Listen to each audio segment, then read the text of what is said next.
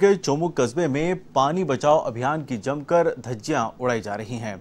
ठेकेदार की लापरवाही के चलते रेलवे स्टेशन रोड पर पानी की मुख्य लाइन में लीकेज हो गया है, जिसकी वजह से पिछले पाँच दिनों से लाखों लीटर पानी व्यर्थ बह रहा है।